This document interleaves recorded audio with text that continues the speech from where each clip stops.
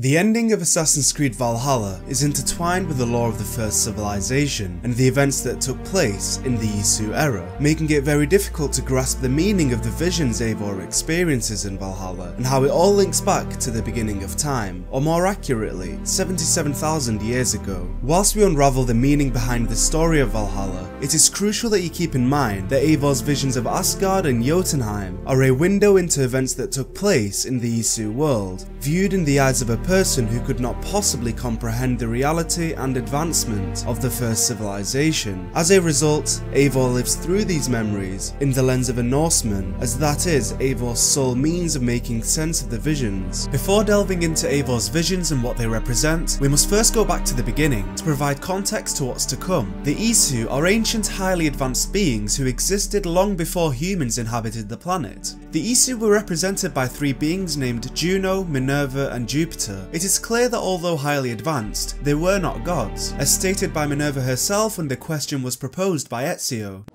You are gods. No, not gods. We simply came before. At a point in time, the Isu and humans coexisted, and they partook in a war that spanned 10 years. During this war, the Isu discovered that there was an impending doom threatening their existence, a solar flare that would wipe out the first civilization. To counteract the catastrophe, the Isu proposed six solutions, one being the construction of a tower that would act as a shield to humanity, minimizing the effects of the solar flare on the planet. This proved ineffective, and the Isu had to look towards other ways of preserving their existence. They were quick to realize that no solution could stop the inevitable end, and instead they began to explore the idea of living through the catastrophe rather than preventing it entirely, thus creating the SAGE program. Being able to survive the catastrophe would also allow the Isu to help prevent future world-ending events by passing on their knowledge and technology to future beings. The SAGE program allowed the Isu to reincarnate themselves and be reborn into new bodies, allowing their consciousness to live on past the disaster. Sages are born with their own personalities and memories, however, they also possess the memories of their past self. The duality of their personality and memories sometimes works harmoniously, as seen with Aita, an Isu scientist and the husband of Juno, who had been reincarnated many times throughout history, whilst at other times, the two sides of a sage, the one linked to their former self and their newly born independent self, can clash with one another. An example of such will be shown at a later time.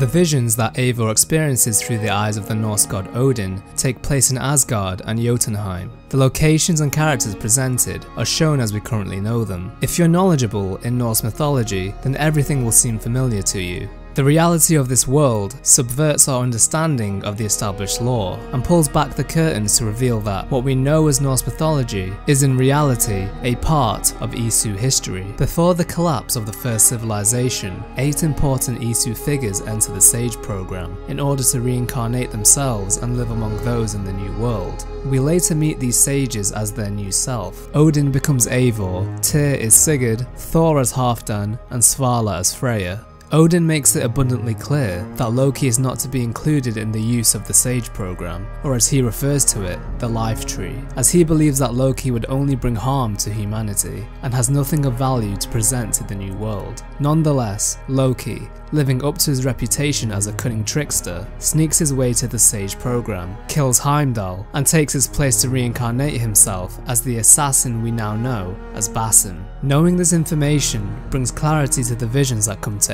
Eivor. It makes sense of Odin's appearance in Eivor's consciousness, whenever he is placed in a moral position and has to make a choice. The visions are the memories of his former self, Odin, and Odin's appearance in his mind is the conflicts previously mentioned, where both sides of his being are clashing.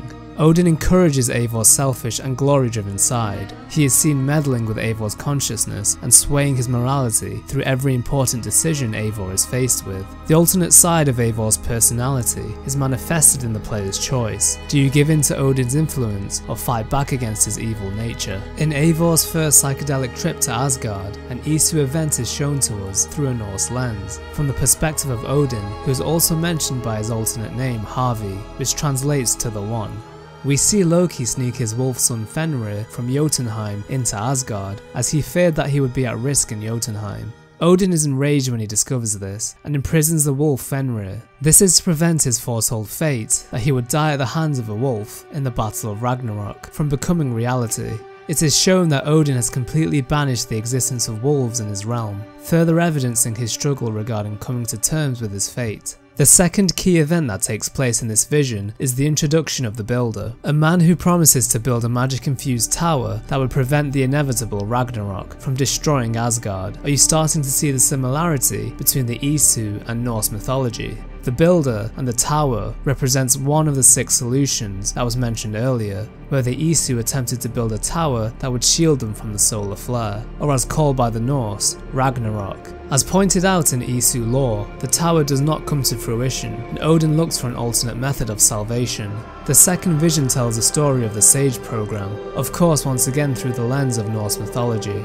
Odin visits Jotunheim on a quest to acquire a magical mead that would allow him to transfer his consciousness into another being, one that would live through Ragnarok. Whilst in Jotunheim, Odin meets Gunloda, an ice giantess, the daughter of the king of Jotunheim, Suttungr. She lives a secluded life and focuses all her time on observing a crystal glass, which presents all possible futures. She mentions that every outcome she has viewed leads to Ragnarok. Gunloda also states that within the crystal glass, she hears the voices of those who came after, referring to humans in the future. She also says, I leave them words, little packets of possibility, waiting for unknown ears, many ages hence.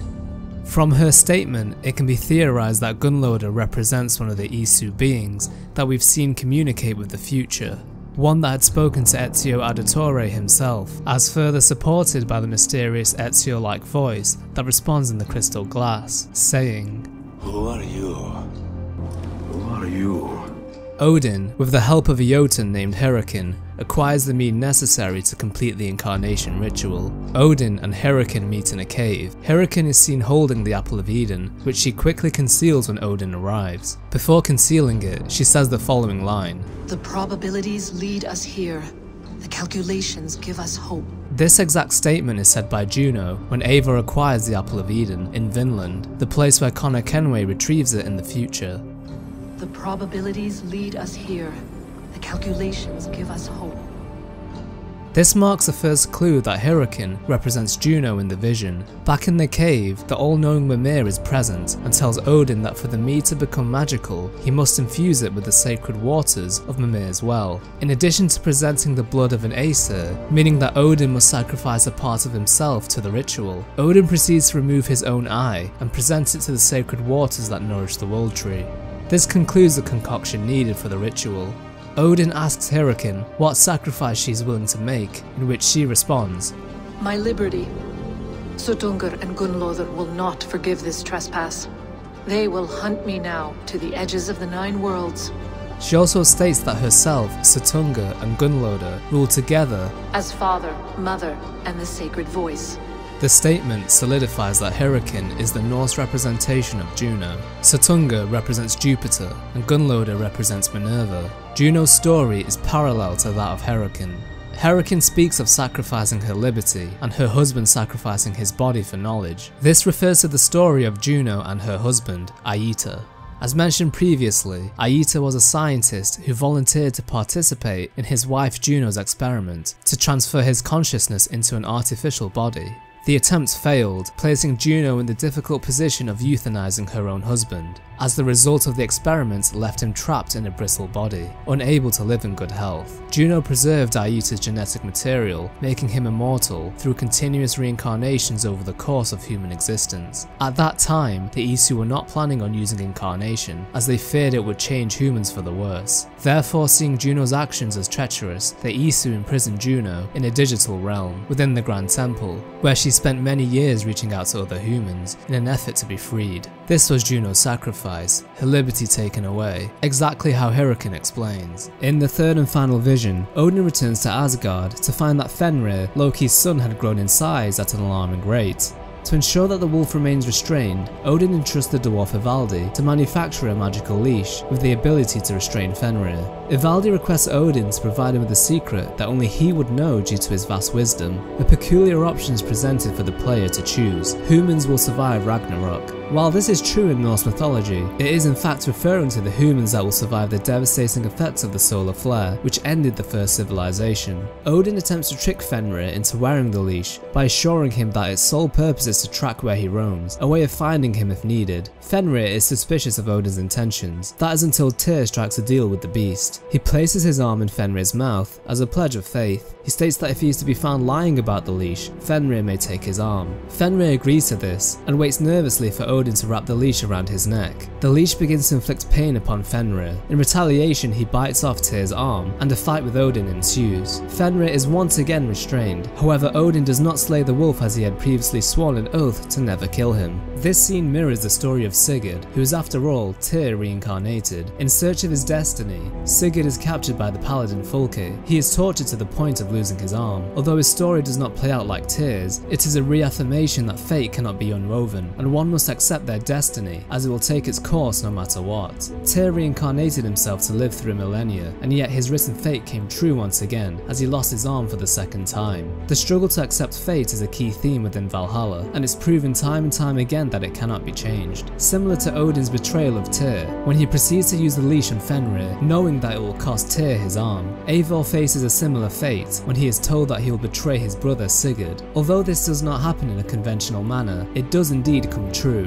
as Eivor reflects on his journey to realise that he had robbed Sigurd of his dreams, his glory, and even Valhalla. The final scene in Eivor's vision is that of the collapse of the first civilization, or as Eivor sees it, the arrival of Ragnarok. We see Odin and his companions gather around the life tree and drink the magical mead in order to pass on their consciousness before leaving for the final battle that would lead them to their doom. This is parallel to the Isu entering the Sage program to survive the Great Catastrophe. The life tree is the program and the mead is the advanced technology they use. You can also see Aita at the table amongst the others, as well as Loki sneaking into the room at the beginning. Throughout Sigurd's warpath to conquer England, he constantly experiences visions of grandeur, leading him to Valhalla, a place he at the time thought was his destiny.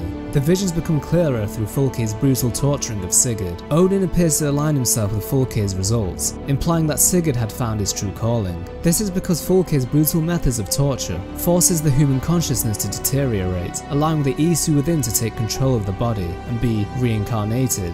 The visions experienced by Sigurd are revealed to be Tyr's memories. These visions eventually lead Sigurd and Eivor to a hidden vault. Sigurd uses the memories of his past life as Tyr to speak the words that would unlock the vault and reveal the Norse Tree of Life. In reality, this is not the Tree of Life. It is a machine built by the Isu to transfer the user's consciousness into a digitally constructed simulation, a desperate last resort to outlive the Great Catastrophe. Valka's mother, Svala, is seen using the machine, revealing that before she passed away, she chose to live in the simulation.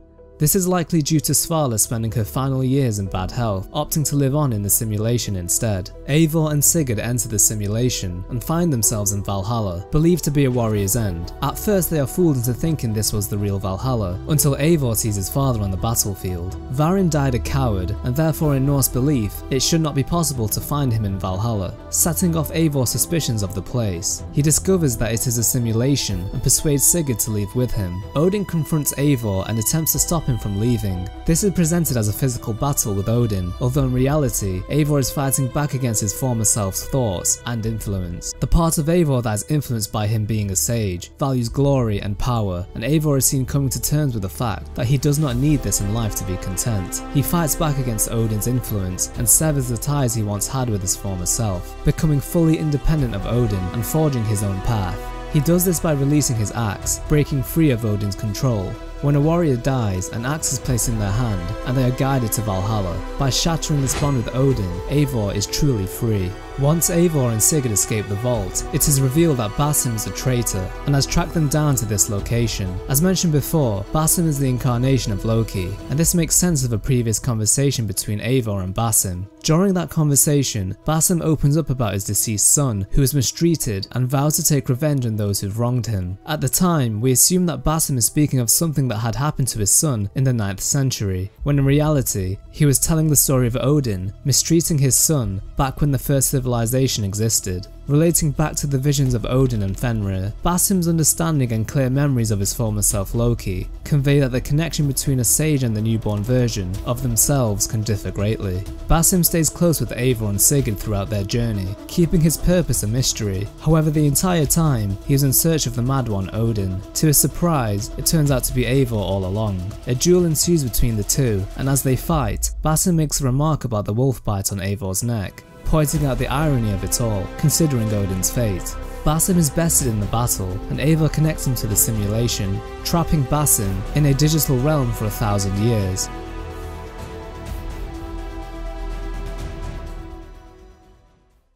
From within the simulation, Basim delivers a message to Layla and her companions, Sean Hastings and Rebecca Crane, informing them that there is another impending doom awaiting them, similar to the one Desmond prevented in 2012. Basim states that to prevent the end of humanity, they must seek the Wolf-Kissed, the Mad One and himself. This is of course referring to Eivor as well as Basim. The prevention of the coronal mass ejection by Desmond was the cause of this new impending doom. This is due to Desmond using the global Aurora Borealis device as a way of shielding the planet. This device has now been active for 8 years, causing the Aurora Borealis to intensify and cause another world-ending catastrophe. The warning given by Basim drives Layla to find Eivor's body and enter the Animus to experience his memories. Doing so leads Layla back to the hidden vault where Basim is trapped. Whilst exploring the vault, she gets attached to the simulation device, and as she ascends into the simulation, she drops the Staff of Hermes, which she had previously acquired. Inside the digital space, Layla is greeted by Basim, who has spent the last thousand or so years alongside a person called the Reader, studying the calculations that would prevent the doom of humanity. Basim teaches Layla how to slow down the Aurora Borealis device in order to maintain the shield it provides for the protection of the Earth, while slowing it down just enough that it wouldn't become a threat within itself. Following his interaction with Layla, Basim leaves the simulation and re-enters the real world. He couldn't have possibly done this prior to Layla's arrival,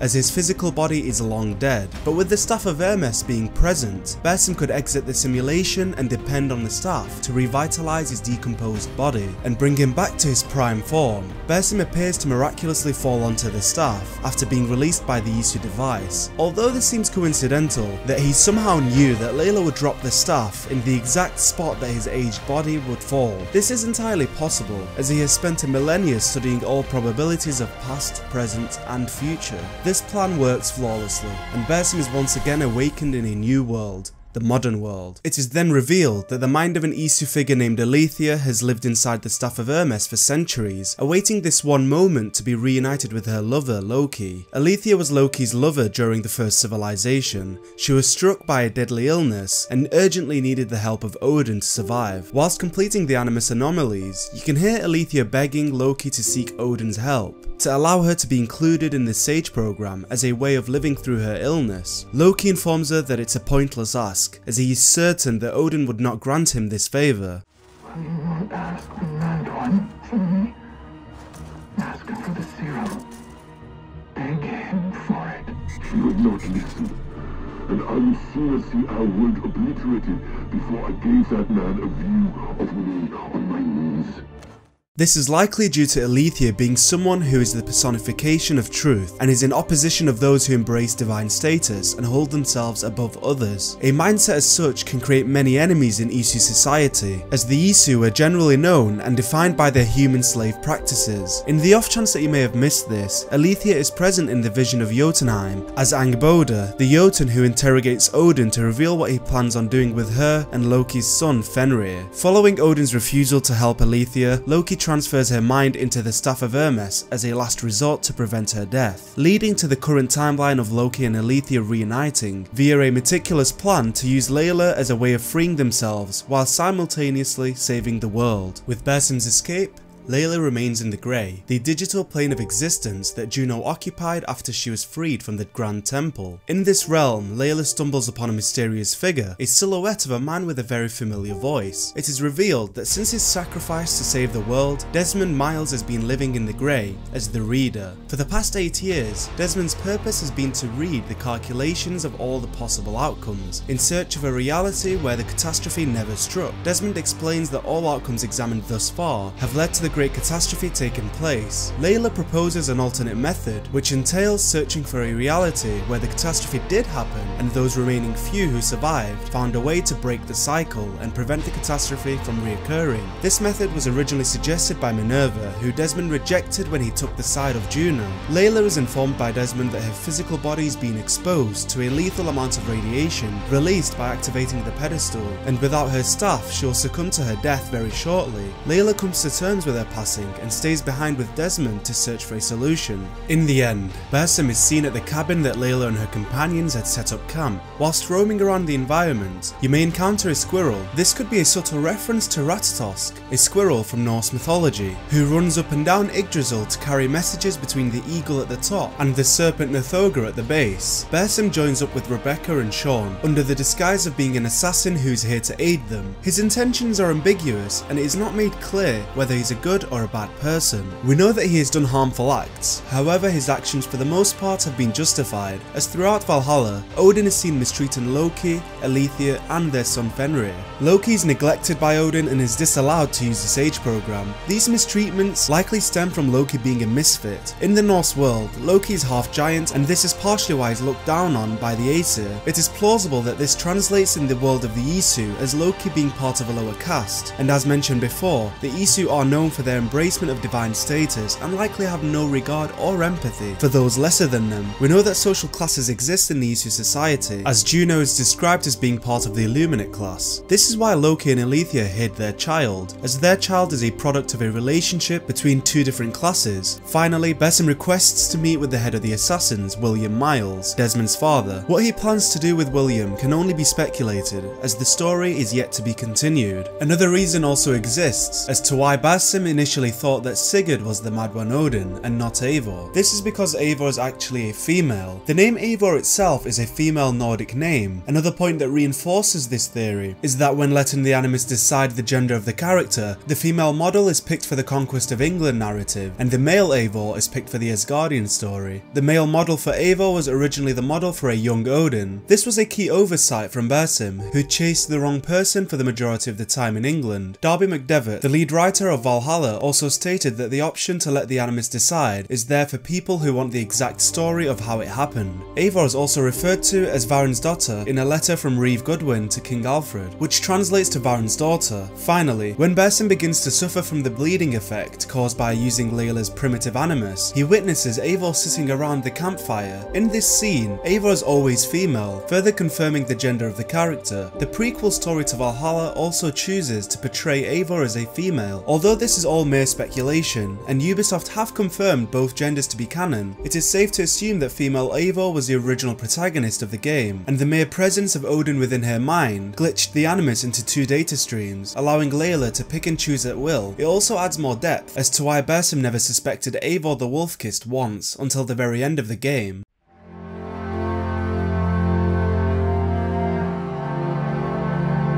Once all the members of the Order of Ancients are eliminated, Eivor receives a letter by a person naming themselves Poor Fellow Soldier of Christ. Eivor is asked to meet with the mystery person in exchange for information on the leader of the cultists, the Grand Magister himself. Once Eivor arrives at the meeting location, he is met with King Alfred, who had been overthrown as a king and now lives in a humble secluded village, baking bread of all things. Alfred reveals that he had been the leader of the cult all along, and had been feeding Eivor information on their identities and locations the entire time. Alfred explains that he detested the cult and opposed their beliefs and ideals. Having been forced into the title of Grand Magister due to the death of his brother, he seized the opportunity to rid the world of the cult. By destroying the order from within, Eivor was the perfect piece of the puzzle for Alfred's plan, and therefore used him to vanquish the cult. As a way of repaying Eivor for his troubles, Alfred grants Eivor access to his observatory located within the Old Minster. Before leaving to explore Alfred's study room, Eivor is told that with the Order of Ancients coming to an end, another one must take its place. a universal divine order, inspired by God for the betterment of man.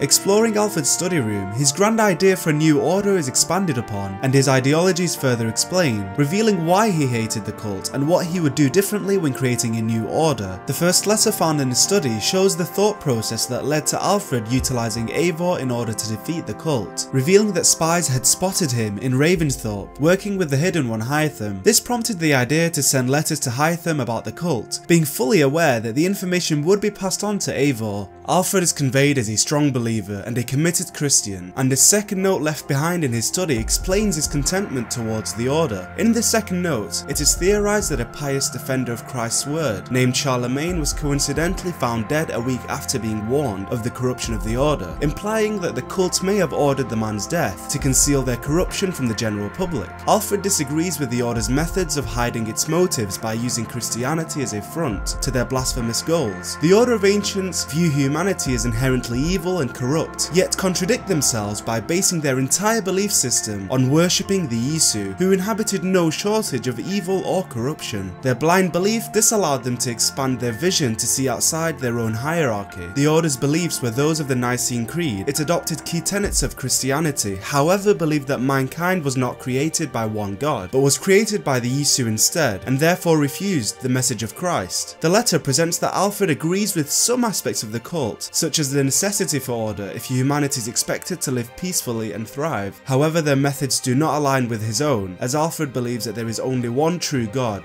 and in him his new order will place their faith. Throughout the entire Assassin's Creed saga, we unknowingly watch the new order that Alfred speaks of come to life. This order is known to us as the Templar Order. Yes, King Alfred birthed the Templar Order, the ones that assassins have been at war with for centuries, and Eivor unconsciously played a pivotal role in the Templar Order's inception, resulting in you, the player, being at fault for the creation of an order that you fight to destroy as various assassins throughout history. Just as the Order of Ancients ended, so did the Hidden Ones. When Bayek founded the Hidden Ones, he wanted them to remain anonymous, seeking no glory and recording no history of their actions, existing as a silent blade that spilt blood in the name of peace. The Hidden Ones, in his eyes, existed to serve the greater good, with no rewards or accolades attributed to their achievements. A letter from Bayek to his lover Aya can be found in the story. Within this letter, Bayek speaks of the Magus Codex, which references Aya as one of the founders of the Hidden Ones. The Magus Codex was a journal which belonged to Magus. This Hidden One was stationed in the Egyptian branch of the Order. It was written to keep a record of the Hidden One's final assembly, which was supervised by Amunet, also known as Aya. The topic of this assembly was about the Creed and its many ironies. Bayek disapproved of having her name recorded in this journal, as it goes against the idea of the Brotherhood and how they solely exist to seek justice, and shunned any ideas of fame and glory. Not to mention that having the name of a key founder listed in the Codex could draw unwanted attention and lead to Aya being hunted. Upon discovering the Codex, Bayek instructs Aya to destroy the pages, to erase any reference of the Hidden Ones from this world, and any evidence of dissent amongst the Hidden Ones. Bayek is aware that this request is unreasonable, as few can keep such a secret concealed. If they fail to destroy the Codex, which they ultimately did, Bayek states that they will have failed in the name of righteousness. The Codex was never destroyed, and if it was, its many pages were either recreated or scattered across the world at various points in history. Bayek's vision of the Hidden Ones died with him,